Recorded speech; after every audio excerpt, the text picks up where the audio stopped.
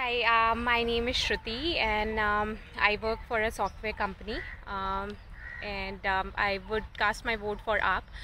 The reason uh, why I chose AAP is uh, because there are a lot of young generation who is supporting them and they are there um, you know a lot of um, fundas which I like uh, uh, uh, like um, you know they they are doing uh, some of the work which is uh, which is very beneficial for the younger generation. Um, yeah they are going for the corruption fee which is uh, very you know uh, important right now.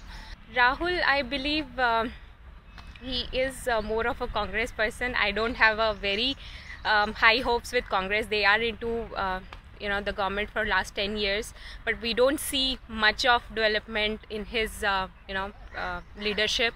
So i believe uh, we should give a chance to the new government uh, uh, you know new thing which is coming in and up and a lot of people are supporting them.